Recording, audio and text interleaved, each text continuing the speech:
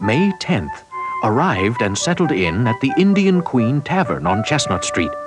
Met James Madison, who is also staying here. He and I paid a visit to Mr. Benjamin Franklin on Market Street. The old gentleman is 82, but he still exercises with a dumbbell. He reads while soaking in his copper tub shaped like a boot. May 11th. This is called the City of Brotherly Love, but there is nothing brotherly or sisterly about the way some women of the town regard your humble servant. I have never seen so many taverns and what the French call maison de passe. That's a house that you only pass through. I love Philadelphia, but I wish more delegates would arrive. May 13th. Today, a great commotion outside my lodging. General Washington arrived. A crowd cheered him. Cannon saluted him. The landlady, Mrs. House, had prepared her best rooms here for him. But the financier, Robert Morris, came around and carried the general off to his fine brick mansion. There are lots of Baptists and abolitionists meeting in the city. She will have no trouble getting roomers. May 20th. Been here a week and still waiting. Will enough delegates ever arrive? I, have not been idle in this greatest of American cities. I went with General Washington today to see Mr. Charles Willson Peale's wonderful museum. It is the only one of its kind I have ever seen. We suddenly entered a room full of people. I nearly bowed to the women. Uh, someone on the museum staff laughed. You know, those weren't people at all. They were made of wax. May 25th. Blessed be this day we have begun. Washington is here, an imposing and handsome man, over six feet. He gives the impression of confidence and power.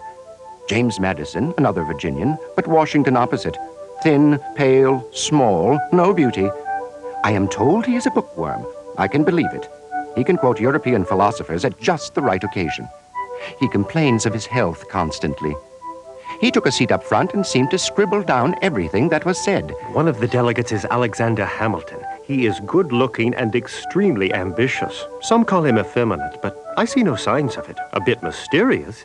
He was born, they say, of unmarried parents in the West Indies, but went to school in New Jersey. He married well.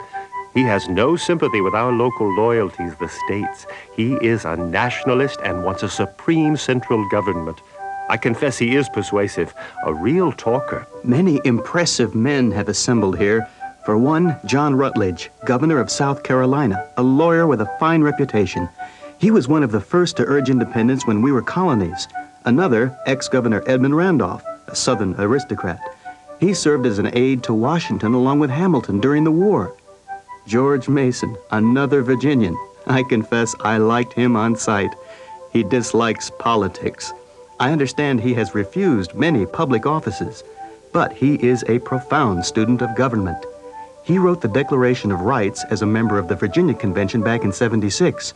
Thomas Jefferson drew on it when he wrote the Declaration of Independence. A man of a different type is Roger Sherman. He is the oddest man. He doesn't have much education, a wizened little man with an old-fashioned way of expressing himself, but he is shrewd. May 25th. General Washington said something that impressed us all. He said, There is no greater drama than the one we are playing out here. We